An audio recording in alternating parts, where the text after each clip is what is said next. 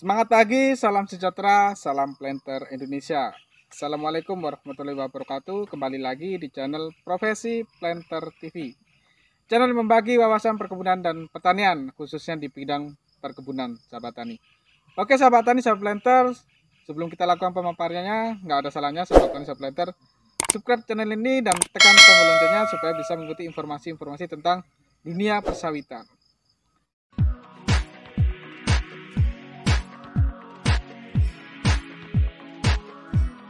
Kali ini kita akan membahas bagaimana kita menentukan untuk pupuk NPK yang terbaik untuk masa-masa TBM sahabat tani Kita tahu bahwasanya masa-masa TBM adalah masa di mana kita untuk membentukan buah di masa TM sahabat tani. Maka apa yang kita perlukan di dalam masa TBM ini? TBM terukur dari umur tanaman 0 sampai 36 bulan. Dari masa 0 sampai 36 bulan ini kita harus istilahnya menjaga bagaimana kebutuhan unsur hara yang dibutuhkan oleh tanaman tersebut sahabat tani. Kadangkala sahabat tani kita bisa juga memakai pupuk-pupuk nitrogen ataupun pupuk-pupuk tunggal.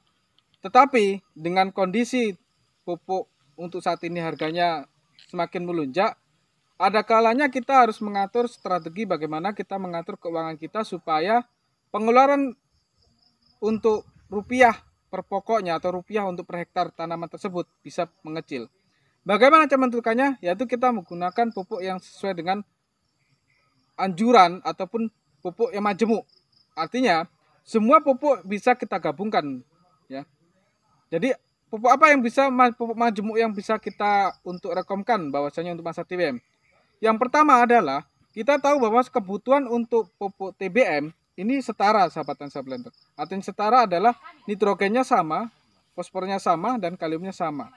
Pupuk yang terkandung biasanya ya adalah pupuk 15 15 15. Ya, kandungan 15 15. Artinya pupuk nitrogennya kandungan 15, fosfornya 15 dan kaliumnya 15.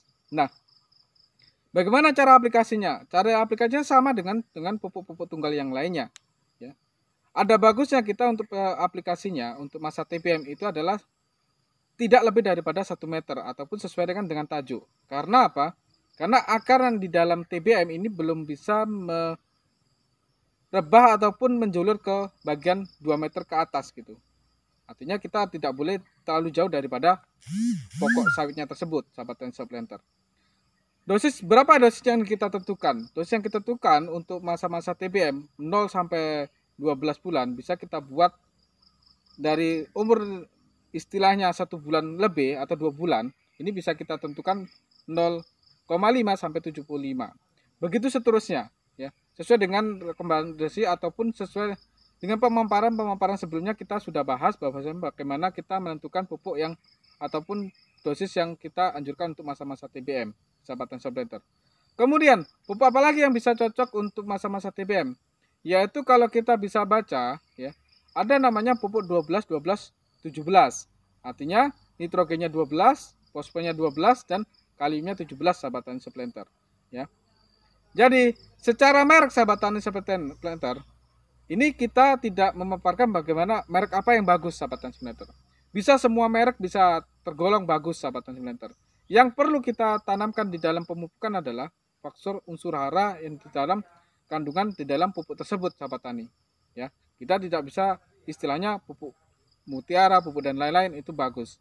Tetapi semua kalangan pupuk itu bagus. Semua jenis merek itu bagus. Hanya saja kita sesuaikan dengan kebutuhan tanaman sahabat tani sebentar oke sahabat tani sebentar mungkin itu aja pemaparan singkat dari kami. Mudah-mudahan konten kali ini bermanfaat untuk sahabat tani dan untuk perkebunan yang lainnya.